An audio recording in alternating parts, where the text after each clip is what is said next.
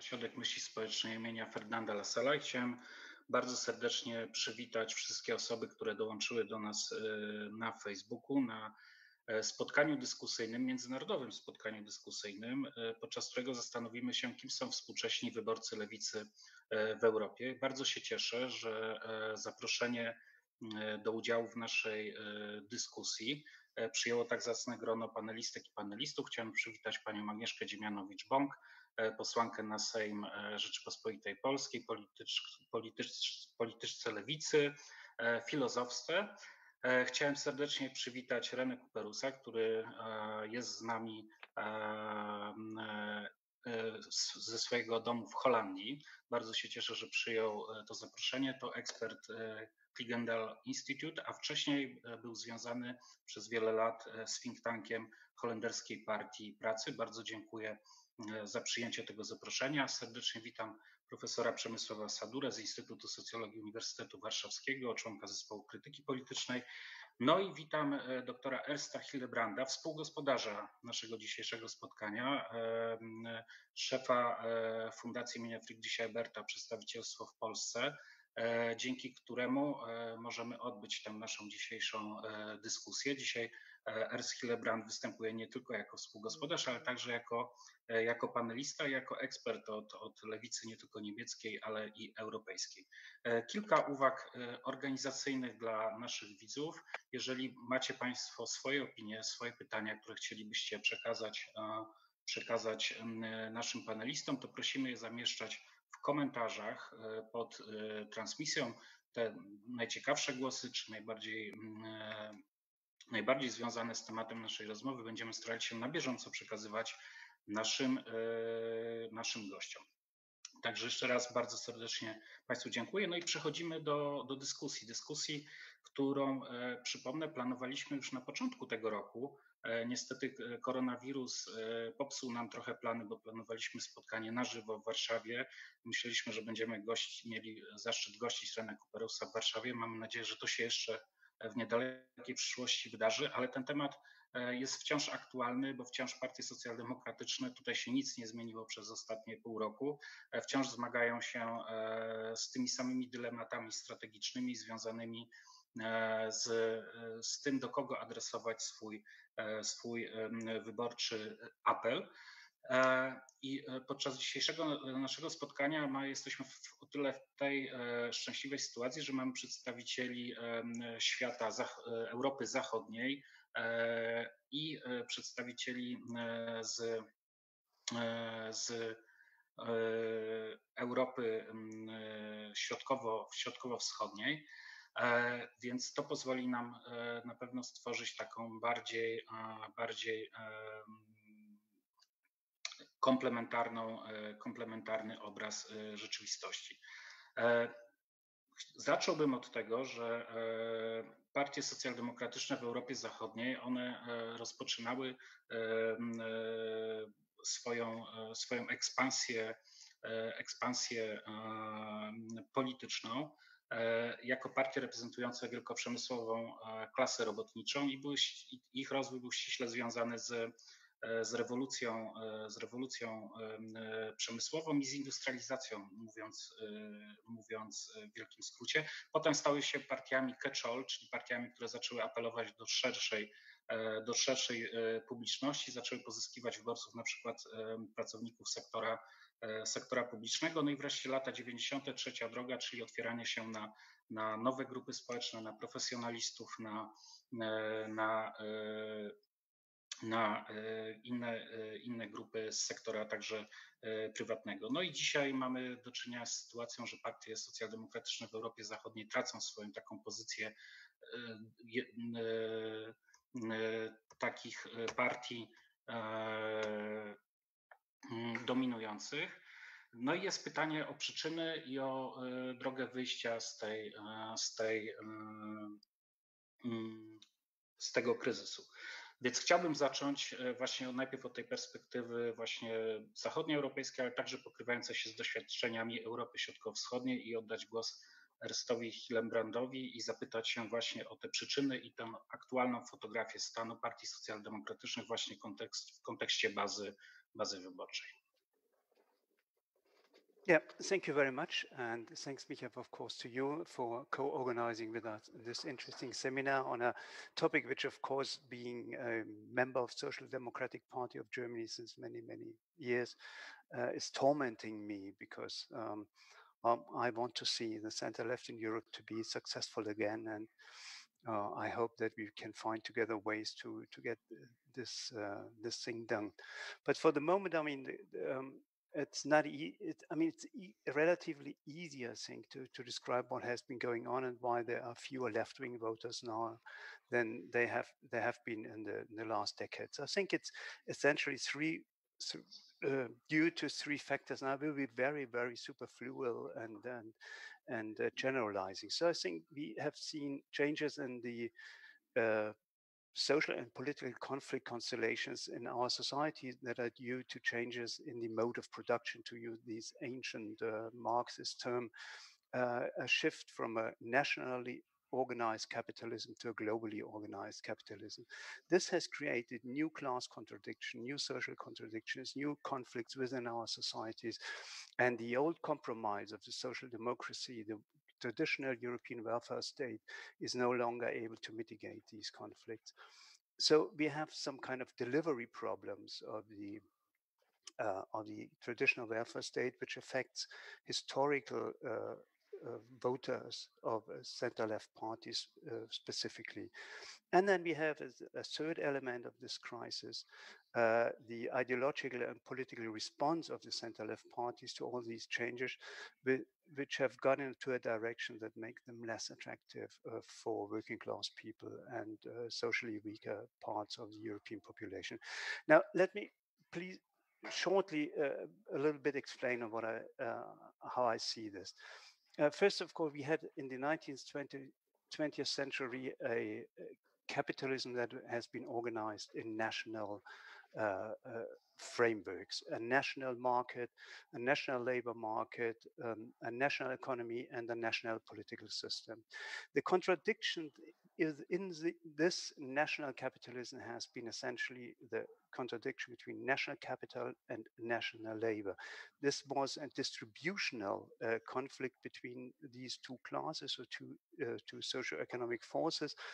And this conflict has been partially or relatively successfully resolved by the good old social democratic answer of the 20th century, the combination of a redistributional welfare state and a democratic political system with a high level of representativity. Uh, and this uh, arrangement funct did function quite well and uh, did result in relatively equal and relatively rich uh, and relatively peaceful societies that we all know from the golden age of the Dahrendorfian 20th century, uh, the social democratic 20th century. Now, this model came under increasing pressure some decades ago with the starting of globalization. We have increasingly a global economy, we have global markets, and we have uh, a denationalization of the essential factors of economic life. We have, um, in the meantime, more or less a global mobility of the essential factors of production, which is capital, goods, and labor. Now, this new capitalism, marked by a very high degree of mobility of capital, labor, and goods, is especially strong in Europe. I think there's no other neoliberal experiment so thoroughly organized in the sense of opening markets, opening, create, uh, diminishing all kind of um, mm, hurdles against the mobility of these three factors as the European Union and, and the European integration in the last decade. Now, this global capitalism that is based on mobility of, of, of capital, work, and goods has created new uh, contradictions and new distribution between uh, of, of, winners and losers in our society. And this uh, new uh, separation of winners of losers of this capital of this globalized capitals run through in the middle through the class alliance of the historic 20th century social democratic uh, class alliance.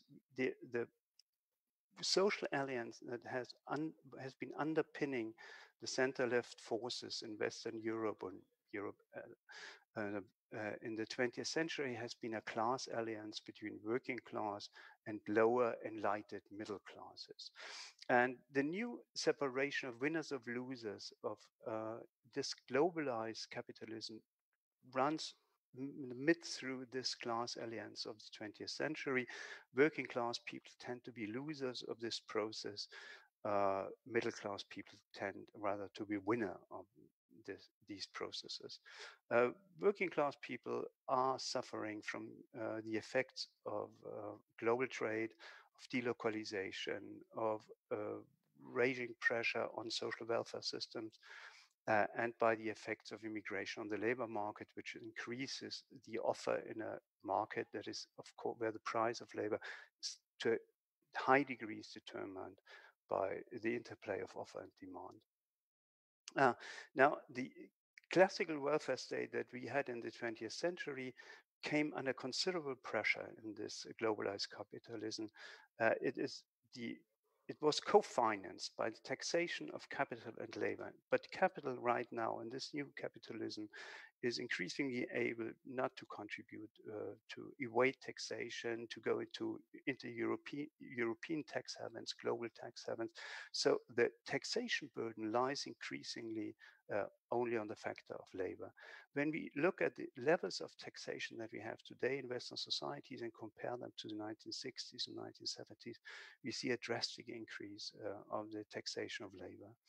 Uh, and at the same time, we see that the delivery of the welfare state is no longer as it used to be. There are considerable problems in the performance of welfare state systems uh, in most of the uh, Western societies.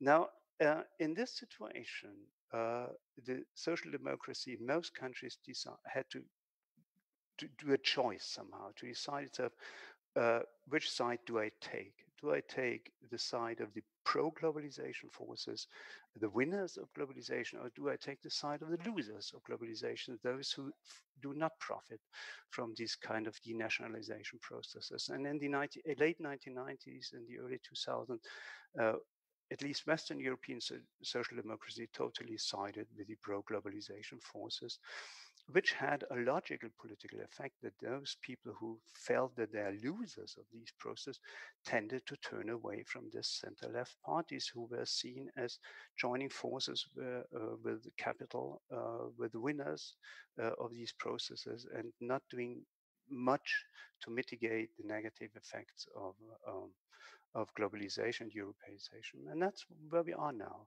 Uh, we have center-left parties that are in most countries essentially middle-class uh, parties, which have compared to other parties uh, a better educated, better paid, uh, better well-off or more well-off uh, electorate. And we see that classical blue-collar workers, uh, working class people are increasingly turning away and looking for alternatives, which also explains partly the rise of populist movements in Europe so that's where we are today. And I think um, it's due to bad political choices, but also to uh, major forces, which are the changes in the mode of production of capitalism driven by technology and a lot of other things. Thank you.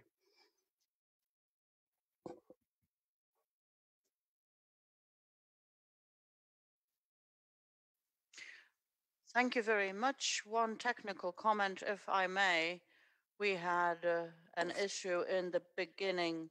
We had a techni- technological hiccup in the beginning of our meeting.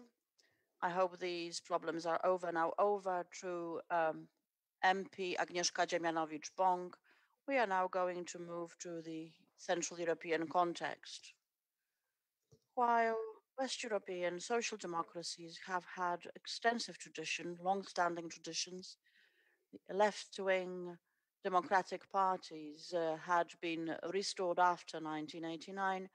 Hence, the electorate base had been somewhat different from their twin um, parties in Western Europe uh, because uh, actually the fundamental discerning factor had uh, been based on uh, the attitude towards the past rather than uh, class distinction. So we do have the historical socio-political approach uh, based on the attitude towards the past, but that is also a phenomenon that is um, becoming slowly a thing, and it is becoming slowly a thing of the past. So uh, a question of our MP, how would you describe and resolve issues concerning that particular electorate? Um, specifically, uh, also uh, that the electorate men mentioned by Mr. Hillebrand is closer to the uh, populist parties. Um, there was a slight break in the uh, recording in the in the in the connection with the speaker. But now I would like to uh, also ask a question. I ask you the following question: What do you? What is your opinion concerning, for example, the developments in Greece? That was the response to specific phenomena. Thank you very much for the invitation. I am very happy to see you. I am very happy to be able to join the debate. Now, with regard to what has been said before, Indeed, the historical context after 1989 and the distinction uh, that was of key importance to left wing parties uh, has changed. Nonetheless, certain dilemmas or political choices made in the um, at the beginning of this century, also those made by the Polish social democracy, have been very close to the problems that uh, we have witnessed um, witnessed uh, herein. So it was that is the ultimate question whether we ought to be appealing to the beneficiaries of changes of transformation, or should we actually turn towards the working class? Now, were I to comment on uh, the former variation of the parliamentary left wing parties, or the left wing parties that had remained in rule and in power until 2005. The dilemmas or the mistake, uh, as has been said here, was definitely committed. Uh, for the past 15 years, um, for the past 15 years, right wing parties have been in power.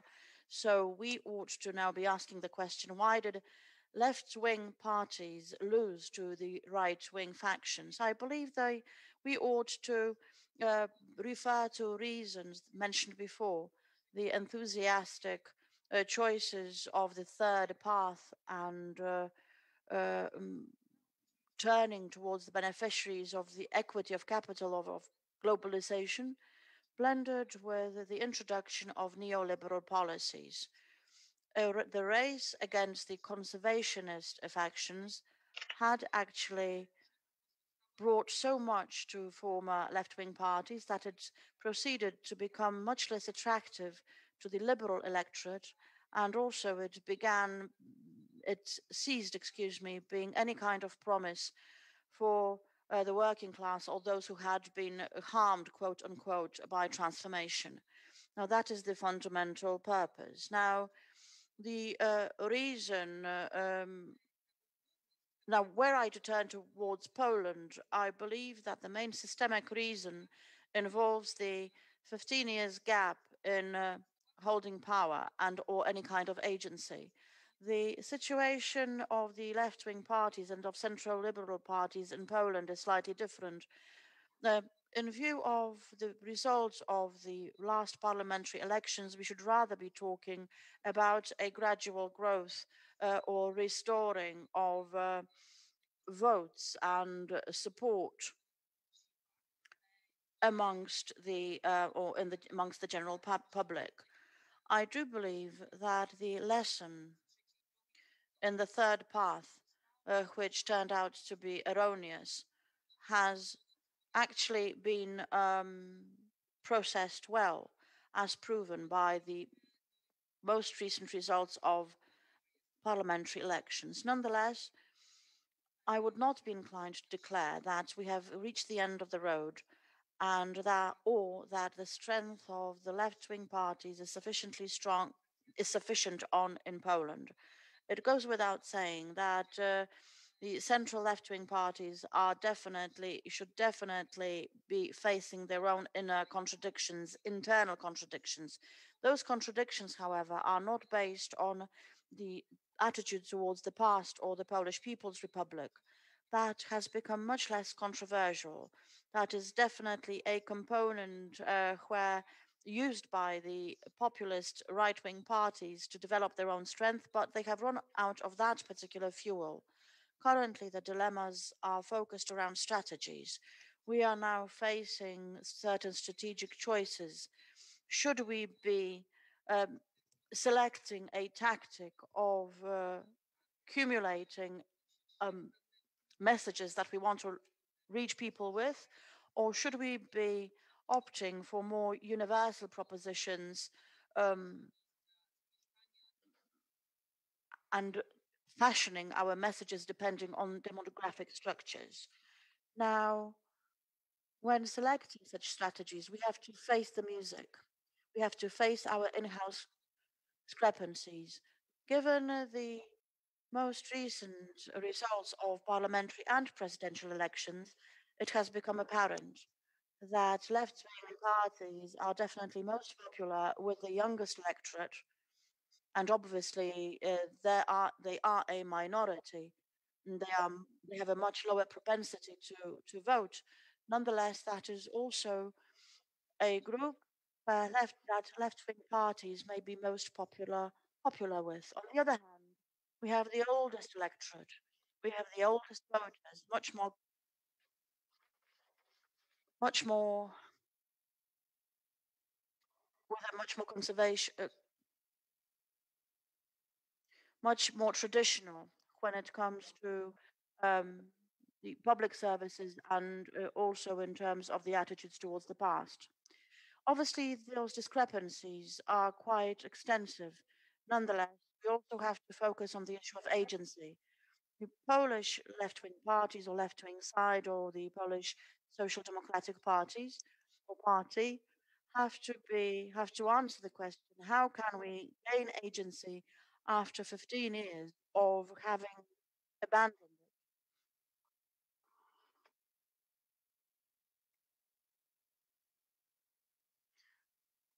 On the other hand, agency has been handed over to those in power today, and on the other, uh, should we only focus on the opposition, we ought to uh, understand that, um, a, that the issue of agency can be stimulated with those in power, which has definitely been uh, proven by most recent uh, polls. Given the polarization of the Polish political scene, by default, uh, um, such agency is associated with liberal factions. While that agency and empowerment can well be designed for the future under conditions of parliamentary elections, which are definitely much closer much more closer, closely associated with programs. With regard to presidential elections, those pre uh, presidential elections are definitely based on a plebiscite uh, design, which means that empowerment or agency is of much lesser importance here. I understand uh, that we all uh, are, we are all on the same page and we have uh, been following um, election results across uh, Europe, but the differences between the um, parliamentary and presidential elections, well, that discrepancy, those differences serve to confirm the thesis, the assumption that um, the criterion of um, announced or future uh, agents or empowerment is hugely important. Now, given the uh, his history of our past 15 years, I do believe that there is another problem that needs to be overcome. Those 15 years have brought a specific result. The traditional and universal postulates of the left wing parties, for example, references to community values and certain universal um, solutions, for example, efficient public services, all that has been put on the back burner over the past 15, if not 30 years, because the previous version of the left wing government had also been uh, uh, burdened with uh, flirting with neoliberal policies, had had educated uh, the Polish society in terms of identifying individual survival strategies.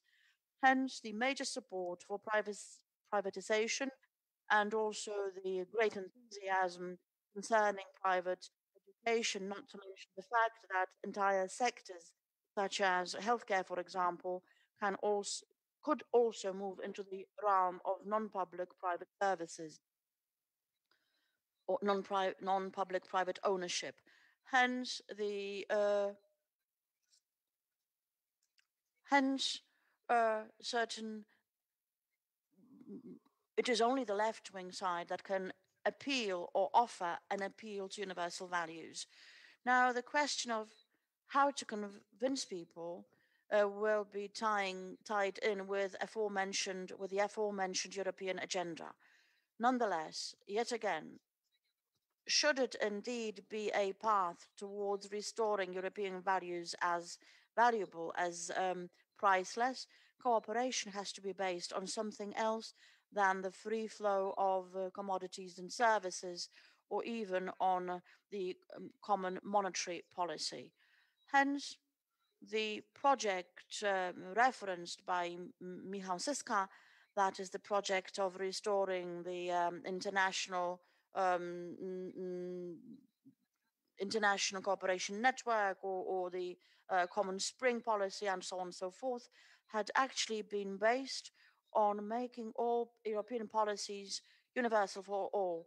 That specifically ties in with the policy concerning remuneration, um, the introduction of, a Euro of European minimal pay. That had indeed been an attempt or at tying in social postulates with the postulate with an appeal for opening borders and uh, creating a joint European community a true European community.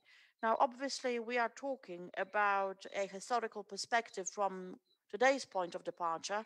Nonetheless, we have found ourselves at a certain point of point of crisis in Poland and across Europe. That is definitely an an opportunity because the myth of individual survival strategies and of individualism has actually been overcome by the crisis of the pandemic, the job market or employment market crisis.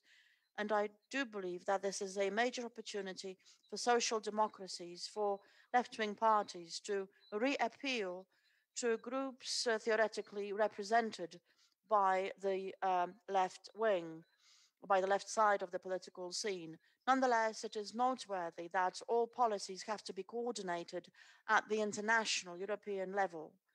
That will definitely provide us with an opportunity uh, of um, offering a response to nationalism and populist parties.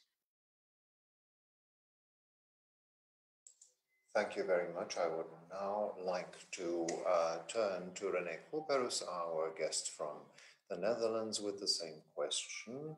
Uh, I and for Ernst Hillebrand and partly to Agnieszka Dziemianowicz both the causes for the crisis uh, suffered by social democratic parties uh, the, and the crisis of their electoral base. It seems that the Netherlands are a very interesting example, especially in Polish discussions. Not much is said that the Dutch Labour Party was one of the pioneers of the third path in the 1990s and um, it was a party uh, which uh, remained the main left wing party, but it lost that role in recent years.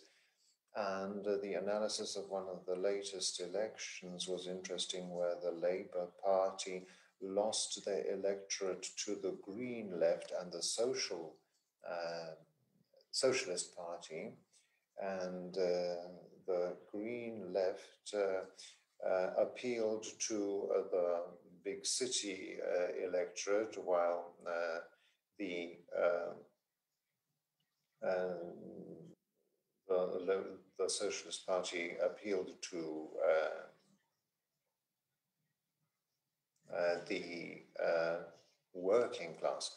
Uh, so perhaps uh, the model for the future would be a coalition of various uh, left wing forces that would appeal to various segments of the electorate. Uh, Mr. Cuperus, please. Okay, thank you very much for this question. I will come back to that. I will try to answer it. First of all, good evening to Warsaw from the Netherlands. Very nice. Thank, thanks for your kind invitation to participate in this interesting seminar, digital seminar. It's a pity that I cannot be with you in Warsaw. I hope to be to return to Poland after the Corona crisis, that, that we can travel again. I, I will come back to your to your question, but I will first have a small introduction. Um, at first sight, you think that Poland and the Netherlands are completely different countries. But if you look closer, I, there are also similarities and resemblances. Because, like Poland, also a country like the Netherlands in Western Europe has is faced with a very tough polarization and cleavage in its society. We have we have a cleavage or a polarization in our society, like the Polish, with the liberal progressive establishment at one hand and the right wing populist opposition at the other hand. That's the cleavage in the Dutch society. The difference with Poland is that in Holland, the liberal progressives are the establishment and, and not the opposition. Eh, but we have two main blocks in our society right wing populists and the liberal social progressives.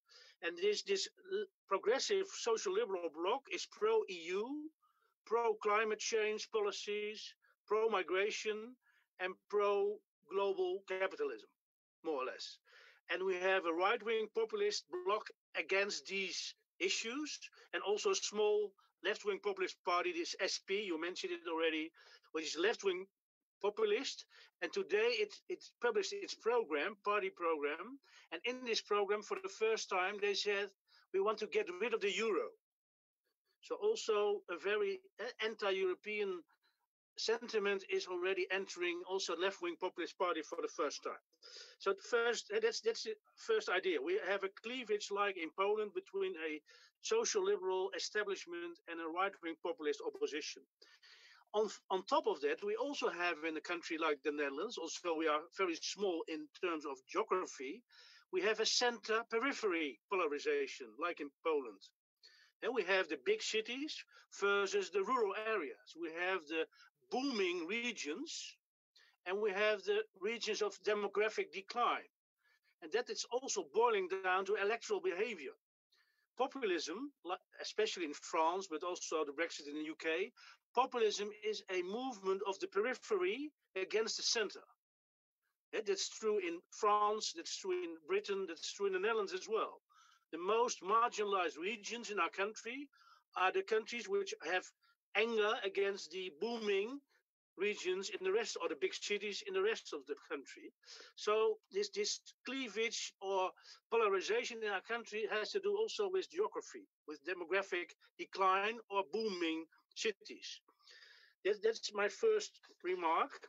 Um, one of the problems of social democracy, also in the Netherlands, but more general, to my in my to my in my opinion is that social democracy is not an actor in the main battles of today. It's not an act. There are two battles. You have neoliberalism, and and the social democracy is co collaborating with neoliberalism, but it's not the main actor of neoliberalism. The, the, the opposition to neoliberalism is not social democracy; it's populism. So we are not, we are in the mean, in, in the middle of that battle. Eh? Social democracy is nor leading neoliberalism, nor leading the opposition to neoliberalism. So it's it's it's more there's lost in that battle. There's another cultural divide, cultural battle between cosmopolitans and between national communitarian populist position. And in that battle, the Greens are at the one hand, cosmopolitan Greens, and also the right-wing populists are the other hand. And, and again, social democracy is more suffering from that polarization than leading it. Uh, it's more in the middle. It's it's it's uh, like Ernst Hillebrand said. It's it's cleaved. Uh, it's it's it's it's hurt by those two battles. Then then there's another element. there's a generational problem which is hurting social democracy very much. It's not only the East European young generations who think that socialism, social democracy is, is a story of the 20th century.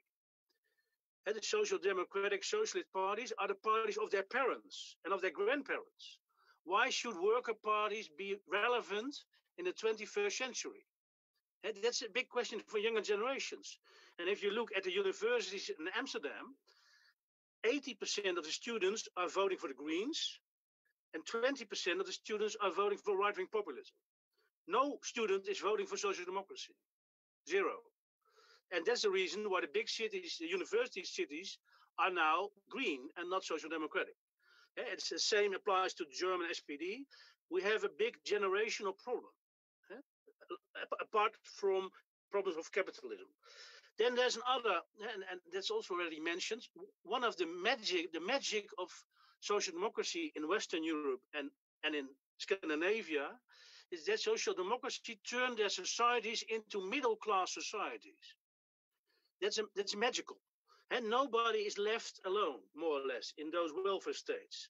They were pure, pure welfare states, middle class societies, both the Netherlands and Sweden and Denmark and and Norway, and they still are middle class, social democratic middle class societies with marginalized social democratic parties. But these middle class societies are under threat. They are under threat by migration, which is introducing a new proletariat in that middle class society. And populism is a social democratic reaction to that, you could even say. And this middle class society is also under threat by elites running out of their national societies. And that, that's one of the tragedies of social democracy. It's not, it's not able anymore to keep these middle class societies together under threats of globalization, migration, and, and flexibility. And that's, that's, I think, one of the main tragedies of social democracy, that it's losing its paradise of the middle class society, which historically is a, it was a major achievement.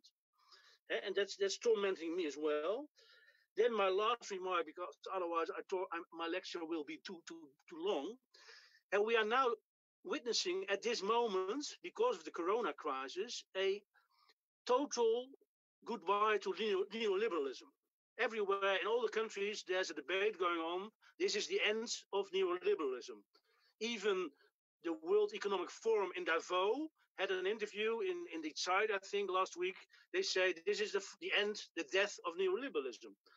So you should you should add because the, the strong state has returned in the corona crisis. Public investments have returned. Um, the taming of capitalism, more or less, has. Or, or there's a d- debate about deglobalization, about eh, regionalization instead of globalization. So you should it should it could be like the Polish MP just said that this is the social democratic momentum. At the end of neoliberalism is the momentum for a new energy of social democracy. But that's not what we are witnessing in the elections in Germany, in North Rhine-Westphalia, or in, in Western Europe. Because eh, there's a total paradigm shift going on that even the right-wing parties in the Netherlands are now are now saying, okay, neoliberalism is over. We we need a strong state. Even the conservatives are saying that in the Netherlands. So they are more or less using, abusing the social democratic momentum. And at the same time, social democracy is too much tainted by the third way, by the neoliberal era of the 1990s and early 2020s.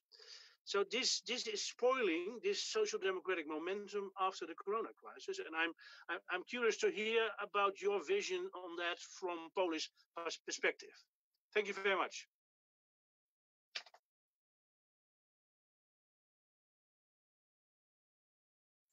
Thank you very much. I think the Polish perspective will, in a moment, be discussed by Professor Przemysław Sadura. I would like to ask you, Przemek, about the global aspect also, because you um, studying society as a sociologist, you uh, you study lifestyle, uh, societies, and even local communities.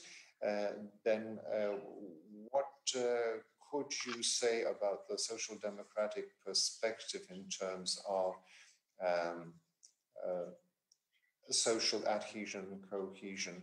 Uh, has it eroded so much that social democrats have to reinvent themselves or just change their strategy?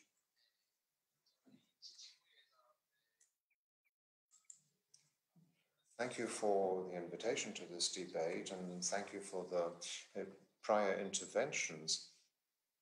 I will uh, try to uh, relate uh, to what my predecessors said. I'm not sure if I would start uh, looking at the social democratic electorate. Uh, when I was um, thinking what to say before the meeting, I thought I have a little novelties to share and uh, very little optimistic novelties at that. Um, we speak of the end of neoliberalism, and at the same time, we speak of a crisis of social democracy.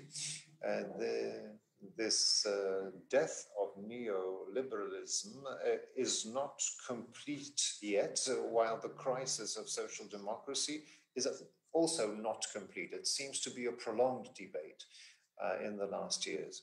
But the previous speakers pointed a lot to the uh, genesis of the current uh, reality that we witness today.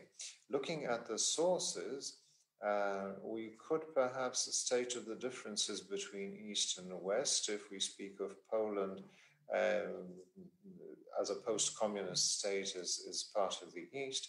Looking at it from the Polish perspective, the uh, breakthrough of 1989 and the following years uh, formed um, a situation when we were under uh, serious pressure of the West uh, to uh, transform ourselves in um, suggested direction. Transformation was a kind of social therapy where the society was to liberalize itself both in terms of worldview and in terms of uh, an economic stance. When we were to introduce capitalist solutions to supersede um, uh, real socialism, which uh, fell, um, we found ourselves in a very specific moment. We introduced capitalism in a very neoliberal variant, and uh, it was a radicalized version of Reaganism or Thatcherism. That was the kind of capitalism that we tried to um, introduce uh, uh, at the same time um, succumbing to the pressure of the West. It was also um, an identity crisis of the left in Poland uh, the strongest party which could speak of itself as a social democratic party was a post communist formation which had to reinvent itself.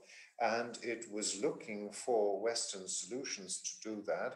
Therefore, the Alliance of the Democratic Left, SLD, uh, quickly became a Blair, Blairist uh, catch-all party.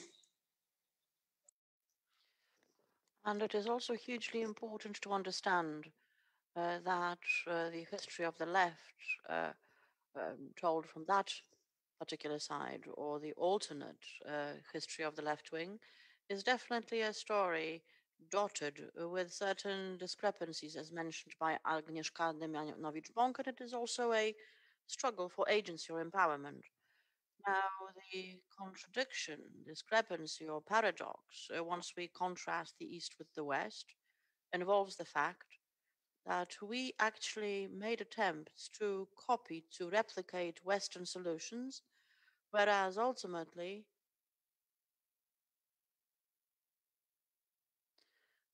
um, instead of importing, we exported uh, Polish discoveries.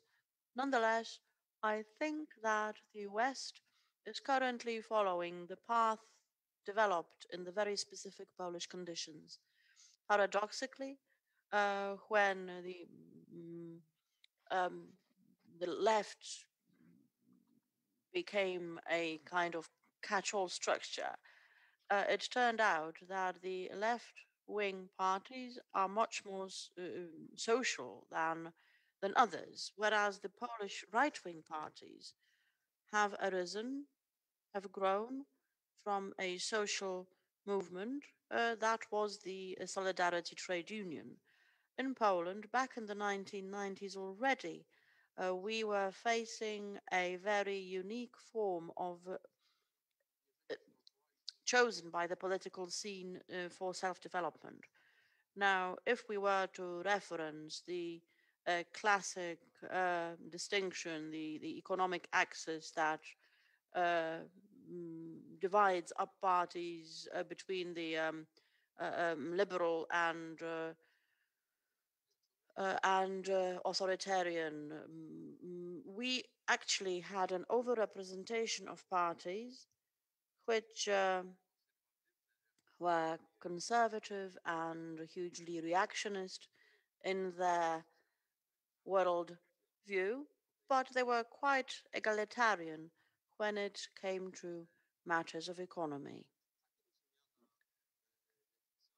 Now, the left wing when thus defined, has been replaced with a much more effective catch-all party, that is the um, Civic Platform, PO.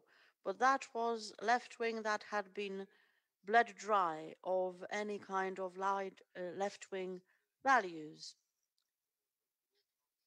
such as um, equality and uh, care for uh, the um, for the underprivileged and the welfare state and so on and so forth.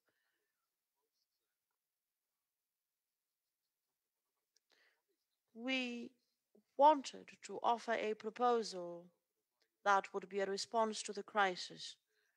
Uh, we tried to launch a variety of uh, new left wing proposals and our suggestions uh, failed to uh, get themselves rooted in the electorate. I began uh, by, uh, in my own research, to um, study the history of the Green Party in Poland, Partia Zielonych. Now, the Greens in Poland did not enjoy uh, the institutional continuity of the institutions of the late 80s, uh, when in the wake of Chernobyl, under realist socialism, the um, Green parties flourished, appeared and, and flourished. We had a Green Party working with the European Greens. Nonetheless, they were uh, actually created uh, to West European uh, patterns, and it referenced three key values ecology, obviously, care for the um, climate in the era of climate change, i.e., obviously um, ecological and environmental uh, factors, and it had been very liberal and progressive when it uh, came to mm, cultural or worldview matters. Nonetheless, it had also been a party very much uh, social and egalitarian in nature. In nature, it shared sharing its program with social democracies. Such were the kinds of green parties established in the West, and they, um, well, they, they, they enjoyed support, but there was no raison d'être for such a party in Poland. It had a problem of even uh, securing the support of 1% of voters. It turned out that uh, while pro climatic and pro ecological, uh, Poles do associate that with certain liberalism when it comes to worldview, the worldview, but they are also uh, quite modern in terms of uh, being um, typical representatives of large cities, highly urbanized, or once they succeeded in blending the social with the ecological, they proved themselves to be quite uh, conservative, uh, fearing the nuclear, and so on and so forth. So there was, it proved absolutely impossible to um, blend the three. The left began working, making efforts to uh, couple the different uh, different values. This gave rise to the birth of the Razem Together party, a, the Polish response or the Polish replica to Podemos, for example.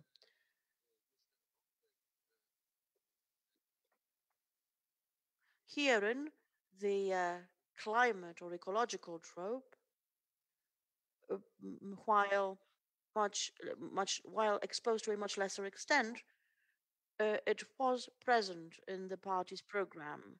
Uh, the obviously Razem um, focused on culture and social matters. That solution allowed Razem to um, to to extend or expand their support, uh, nonetheless, no more uh, than up to a level of three or four percent. Now, to take matters further, uh, we had Robert Biedroń and his Wiosna Spring, uh, the uh, a party that uh, placed all stakes on a, program or, or uh, an agenda that was hugely liberal when it comes to freedom and uh, general world worldview. Yes, it was left wing, but um, focusing on liberties primarily, while not necessarily referencing other matters this party had um, enjoyed a flash existence, then joined forces with Razem, with, with the Together Party. Nonetheless, it turned out that the ways to uh, gain support on behalf of all these parties turned out to be a process of eliminating typical left wing values in a struggle to secure the support of uh, urbanized um, middle class voters. Now, were we to take a look, a closer look at the, the results of most recent parliamentary elections in Poland, uh, where the left wing had simply mm, run together um, as a conglomerate of uh, the SLD of these um, of the of the Left Democratic Alliance, uh, which obviously had been a um, an heir to the uh, previous system, uh, with the new left, including uh, Biedroń's Spring, it turned out that this formation uh, appealed, mainly appealed to the urban voters, their voters were very liberal and uh, freedom oriented, highly educated, whereas the right wing gave birth to a conservative party and appealing to um, the agency and, and empowerment, uh, they became they, they, they became, they, they were based on the cynicism of a catch-all party. They do not wish to win elections by uh, to develop or uh, to deliver their programs. Over the many years of transformation, many parties could well win elections in Poland. Nonetheless, we knew that uh, what our direction was: European Union, NATO, and so on and so forth. Whereas, uh, well, the um, Law and Justice Party um,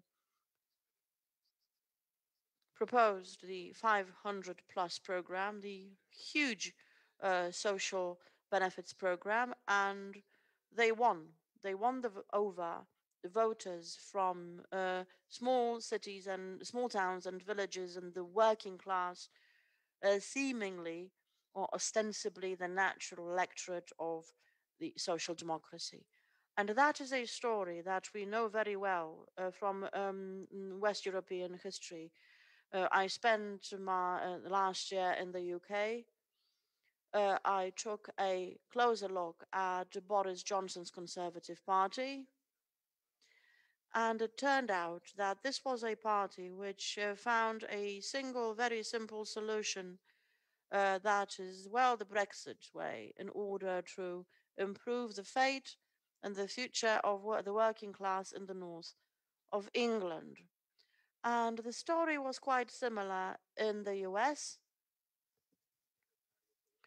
Many European countries are struggling with the populist right wing side. The right wing parties are now winning middle class voters over. And that is a solution uh, which uh, we have found to be quite familiar in Poland ever since the 1990s. As part of a neoliberal experiment, uh, excuse me, that solution was put was was put forward as part of a neoliberal experiment, uh, and we have not really found a good response to that. We are reaching for solutions tested in the West, whereas possibly we ought to be looking to domestic solutions. Since this is an issue that has um, uh, developed in our country much uh, earlier than in Western countries. Thank you very much. I suggest that we now turn to the uh,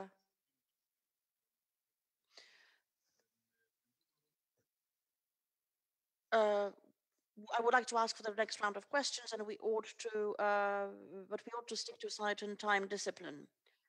Uh, that is, I would like to ask for your ideas, your responses concerning the uh, the ways out of the of the of the of the issue of the of the issue. I would like to like to start with Ernst Hillebrand and ask him what how he sees the way out. How can we exit that discrepancy? Do you think it is at all possible for social democratic parties to develop a joint election platform uh, where the globalization winners and losers could come together? And I would also like to ask you about uh, efforts that have already been made. We uh, do have a cer- certain attempts at uh, reviewing what had been done before, a, and uh, the Danish example is quoted as a successful return. Denmark is a country uh, where the Social Democratic Party had used very specific slogans during their campaign, for example, migration policies or, well, the more restrictive migration policy, and to meet the mm, concerns voted by the traditional working class electorate. Do you believe that this is the correct direction or should we be seeking other solutions? Thank you. Yeah, thank you, Micha. Um, well, difficult question, and I'm absolutely not sure whether I have an intelligent answer on it. Um, I think the Danish example, nevertheless, is quite inspiring and interesting. Um, we did um, some interesting research where we tried to assess um, how distant or how represented people felt at the level of basic political and social values and uh, by concrete politic, political proposals to try uh, concerning uh, economic, social, uh, environmental, etc. questions. And we compared several social democratic parties in Europe, uh, and it turned out that the uh, Danish Socialist Party had the lowest gaps to public opinion and uh, blue collar working class opinion in most of these questions. This is a party that has been able to bridge a little bit this contradiction between cosmopolitans and communitarians. Uh, it's credible, it is seen as being uh, caring about what uh, are the problems of people. And that's something that is missing with many other uh, social democratic parties, which are seen as very distant when it comes to core moral values uh, of uh, the electorate. So uh, I think, yeah, there, there seems to be a, a a possibility to bridge this gap. But for the question is from where do you reach out. What we have seen in the last 25 years is a process where social democracies have sided clearly with the winners, with the cosmopolitans, and then tried to reach out to the others, to uh, the deplorables, to speak with uh, Hillary Clinton, uh, with some political proposals and offers and welfare state solutions, etc. Now, my proposal uh, would be to side with the deplorables, to um, take the position uh, of the communitarians, to take the position of those who are the weakest, uh, and then to reach out to the middle classes, but to have a clear class position, if, to use uh, this old-fashioned expression, and then build the compromise, the compromise from this side, build the bridge from this side, and not from the cosmopolitan middle class side, as the social democracy has been trying in the last 25 years. Thanks.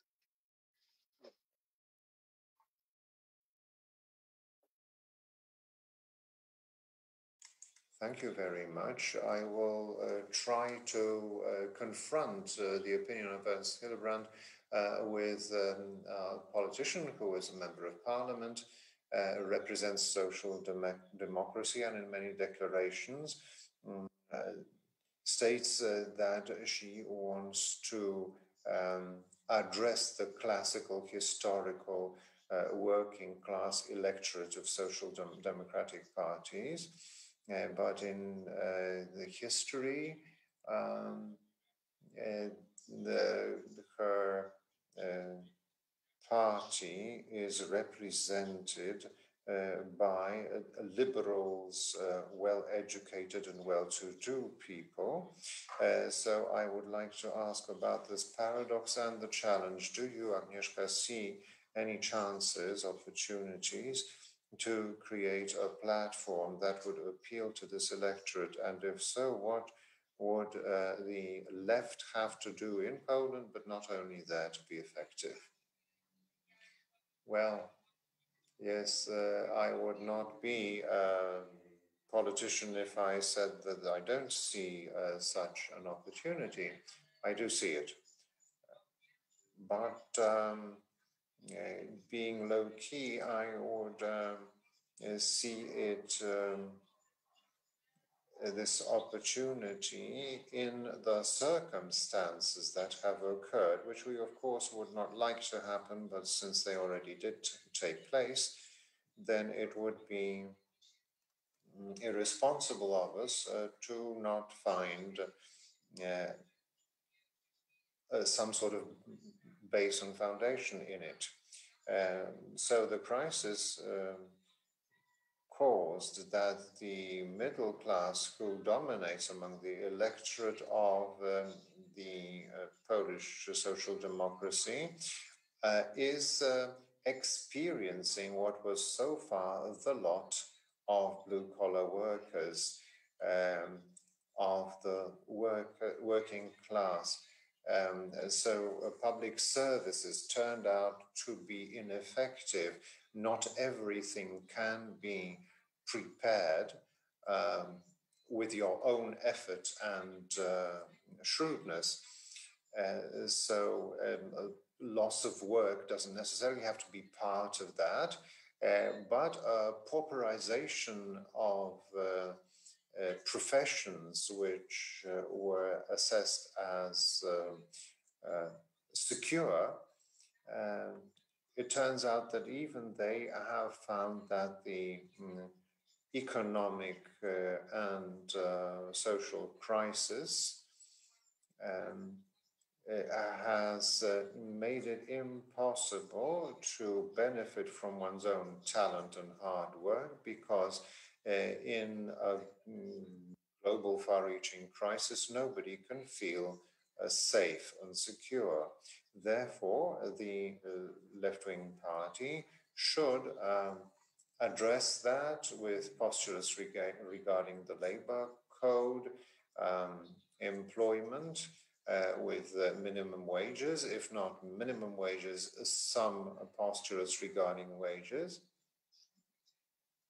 uh, especially in those who have lower remuneration in, in those sectors. Uh, also in the uh, budgetary or public sector, uh, uh who uh, earn uh, middle wages, middle tier wages. During one of the protests, um, during lockdown, it was the protest of entrepreneurs, not workers. the um, protesters who are not the traditional electorate of uh, the left wing, uh, they um, claim that we are all uh, workers, we are all employees. So this is an, an, intuition that shows if we are all on the same boat, the uh, social democracy uh, should uh, respond to that. Uh, those are not the only subjects that are going to focus the um, public debate uh, now and in the nearest future.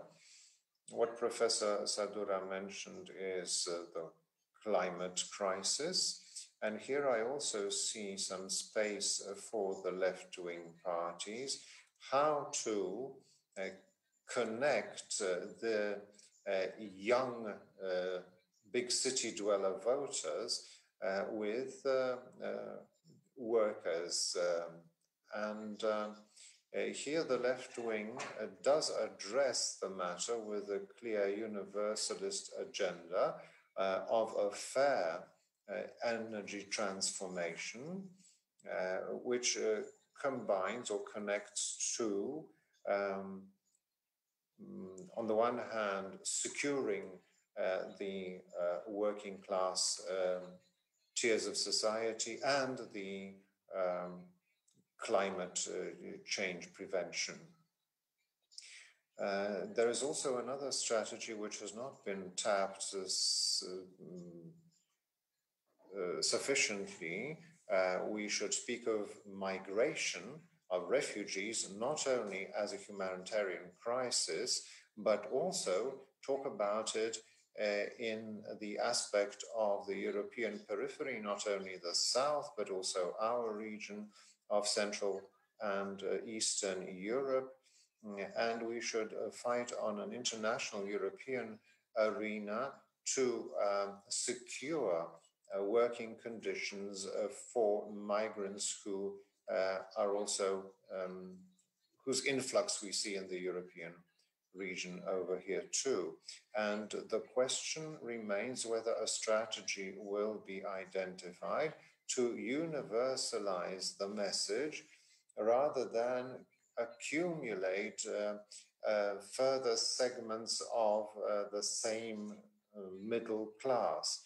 I think we are able, not uh, renouncing or relinquishing our uh, middle class electorate, we can also, or even first and foremost, um, uh, fight for uh, the working class because this experience at this time uh, is actually developing in a natural format because of the crisis which we are all witnessing.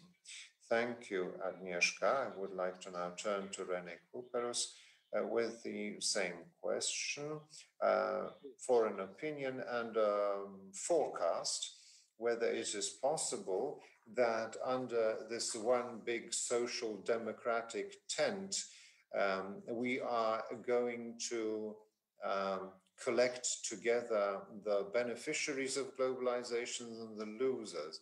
Um, uh, whether the GroenLinks and the Socialist Party electorates can be um, brought together under one social democratic tent for the social democratic party to be able to build the bridge between these segments of electorate?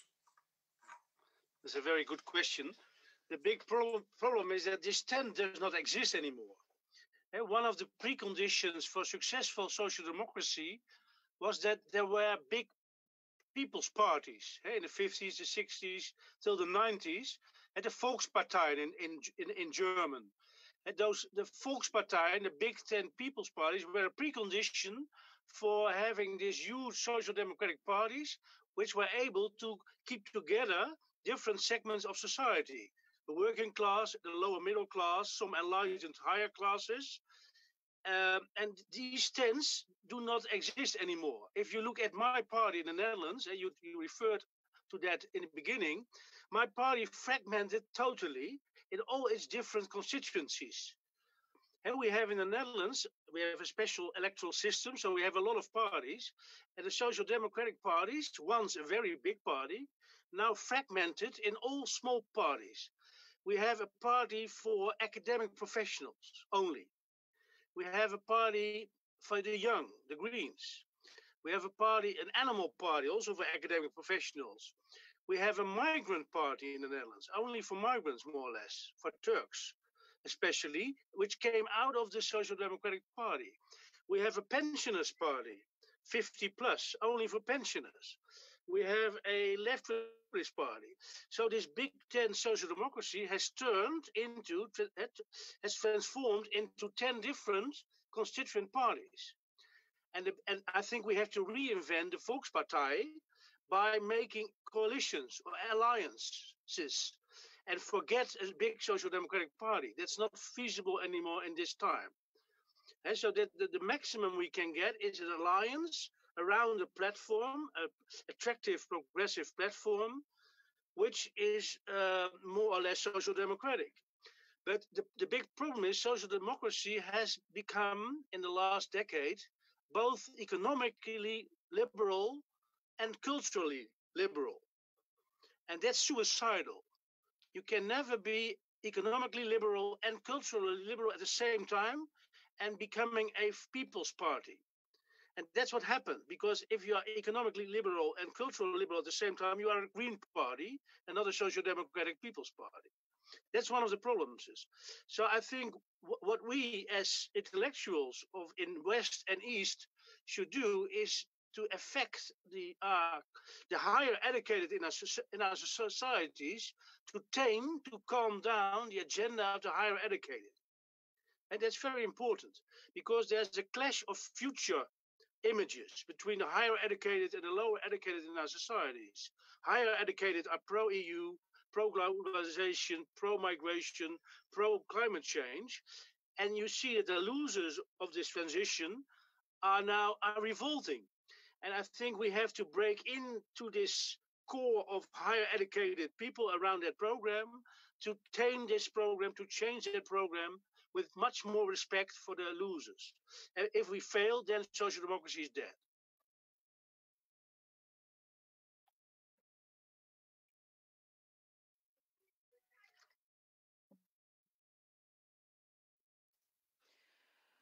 Thank you very much. And actually, now I would like to take the full stop offered by Mr. Cuperus and uh, ask a question of Professor Sadura in the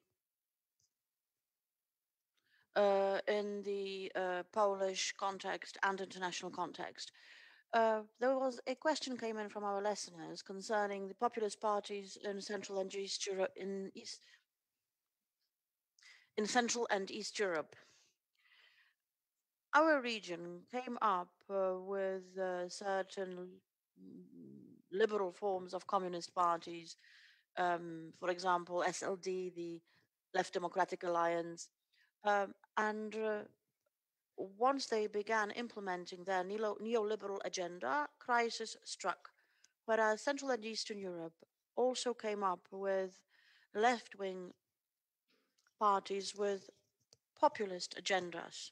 Agenda, uh, appealing to uh, the um, provincial or or or, or uh, local um, voters. For example, Smer in, in, in Slovakia, not to mention the Romanian uh, Social Democrats. They also opted for such strategies.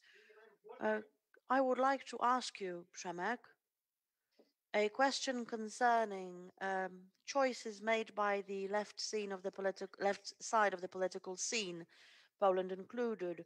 And now we are have been struck by a wave concerning the rights of LGBT persons.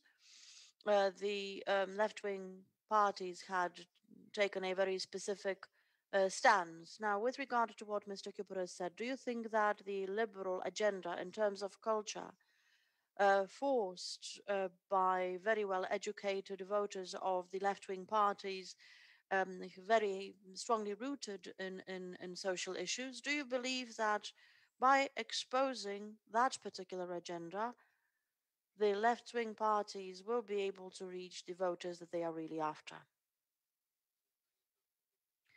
I think that the answer here is quite obvious, isn't it? Uh, such a move will not let them reach a larger number of voters, not to mention the fact that this has already been confirmed by uh, polls. Uh, while the blend of three left wing parties for purposes of uh, parliamentary elections yielded a result exceeding 10%, the result of the left wing party candidate who had been very strongly associated with uh, this particular sphere uh, that is the struggle for uh, the rights of LGBT persons was very, very poor, uh, which uh, does not mean that we ought to conclude that uh, the left wing parties and left wing community in Poland or um, Eastern Europe should abandon human rights or uh, women's rights.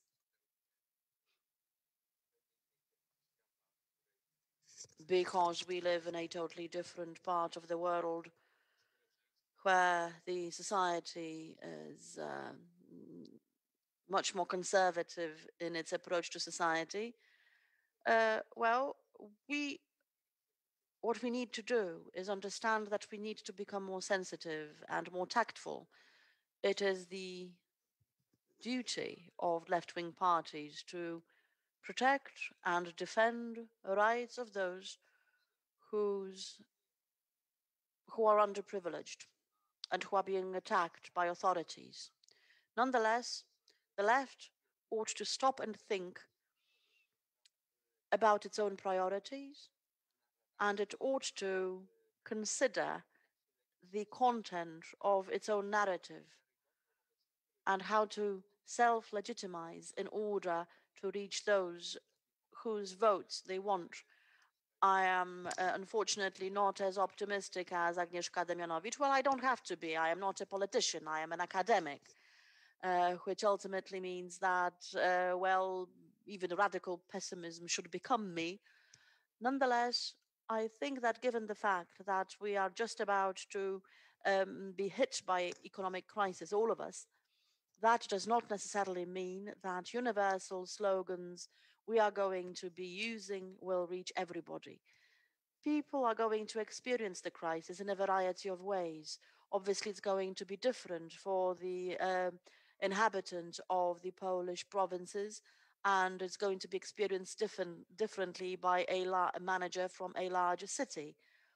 The fact that we have been struck by a climate crisis, the fact that we have to now focus on energy transformation, all that does not necessarily mean that uh, we are all equally sensitive to climate related matters because the um, a miner, a miner uh, working a, in a Polish coal mine will have a different attitude to climate issues to uh, a student in the large cities, uh, won't he? I am under the impression that uh, for the time being, the Polish left side of the political scene has proven unable to resolve the issue that uh, you mentioned in your questions either we are approached uh, by parties, either we are facing parties who are losing their left wing nature in populism, or they lose uh, the um, populism of academic left wing uh, um, preferences. And I am under the impression I, I am under the impression that between the well exaggerated acadism on one side and populism on the other lies the path that we ought to use to find ourselves. Thank you very much, uh. I would like to use this opportunity to thank all our panelists. Our time has come to an end. Information for Ernst, if I may. Persons who were commenting uh, our discussion on Facebook are definitely close to your position in terms of class distinction. And uh, it seems that uh, it, those are exactly the kinds of postulates that they accept, that they expect of left-wing parties. I would like to thank everybody for their participation. Agnieszka Dziemianowicz-Bąk, Przemysław Sadura, and René Cuperus uh, from the Netherlands. I am very hopeful that we will be able to meet in Poland uh, soon. Uh, we have just touched upon the topic. We have by no means exhausted it. I don't think that uh, the uh, liberalism, liberalism is going to collapse and the crisis of democracy will not be over. We will definitely have other occasions to meet. And I hope that these uh, opportunities going to be taken um, advantage of together with the Friedrich Ebert Foundation. I would like to uh, thank Ernst Hillebrand for, um, well, letting us use the premises and for joining our debate. I would like to uh, invite all our viewers to uh, join further meetings on October the 5th. We are going to be talking about taxes, a topic very important to the left wing uh, parties. Well, uh, this is something that we have also returned to in times of the pandemic. We are going to be talking uh, to uh, researchers and economists. We are going to be uh, talking about um, people concerned with taxes from different in different uh, perspectives. And I would like to end our meeting by thanking everybody who was present and who had joined us for the debate. Uh, have a lovely evening. Thank you very much and goodbye. Thank you very much. Bye bye.